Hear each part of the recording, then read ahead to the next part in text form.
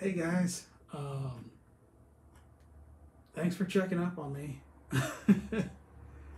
um, I guess some of you have been worried, but yeah, um, like I said in a previous video, I'm fine. Um, I do appreciate everybody that checked up on me, prayed for me. Um, yeah, Lord, Lord willing, this week I'll be more regular on my videos again. Uh, this past week, I think it was the, the longest I went without making videos since I started the channel. Um, but anyways, uh, I uh, hope everybody's having a, a blessed Sunday. Um, stay in the book, stay in prayer, and uh, you know, as the world gets crazier, and this year I mean, it, it could be more wild than, than the previous year. Probably will be. I don't know that for sure, but um, the way things are going, uh, very well could be. But remember, it's a year closer to Jesus. It's a year closer to getting out of here. and um, uh, you know, remember that whatever your, your situation is now, even if you're in a bad situation, if you put your faith in, in Jesus Christ, uh, He already took care of a much, much worse potential situation.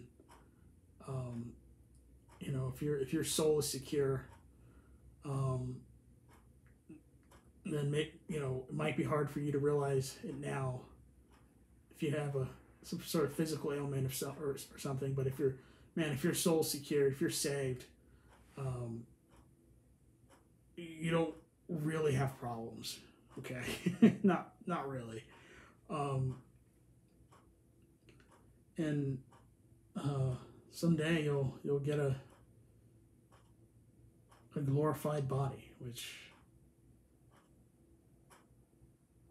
man, I'm you know I'm not too old, but man, would I love a glorified body. So I can't imagine people that, uh, you know, have major physical ailments, but uh, someday we'll have a glorified body and man, someday we're going to meet Christ in the clouds. How great is that going to be?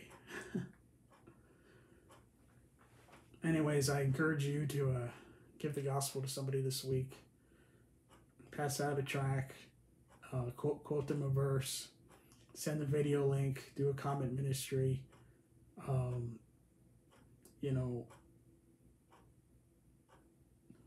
somebody wants to talk about a news article they read or something on, on television, you just say, hey, more important than the news is the actual good news. It's that Jesus Christ paid your sin debt. Okay? the gospel's the death, burial, and resurrection of Jesus Christ. Um, and thank God for it too, that He paid for all of our sins. Because, look, if you if you drove today, you probably sinned in your car. I mean, look, if the speed limit is 65 and you go 66, it's a sin. Period. You know, if you if you have a thought that's unpure, it's a sin, right? The thought of foolishness is a sin. You think of something stupid, it's a sin. Uh, you lie, it's a sin. Um, you exa- you purposely exaggerate something. You know, it, it, it's a sin. We have a sinful flesh. Thank God, Jesus Christ paid for all our sins and had our sins imputed onto his flesh, on his body, and shed his blood for us on that old rugged cross.